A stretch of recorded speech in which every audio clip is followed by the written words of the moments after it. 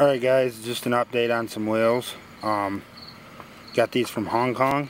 Spice Mini Volk racing wheels. For the well, actually they are for the Tamiya.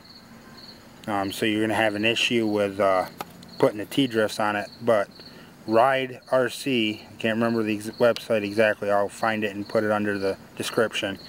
They have wheels for the Tamiya, but they will fit the Cup Racer because they stand, have the standard size and they are fully licensed Volk wheels. They have the Volk lettering. All I did was painted the lugs and put a valve stem on them.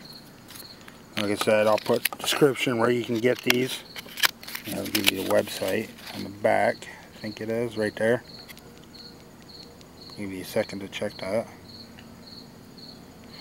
And I think I paid like eight bucks for all four wheels.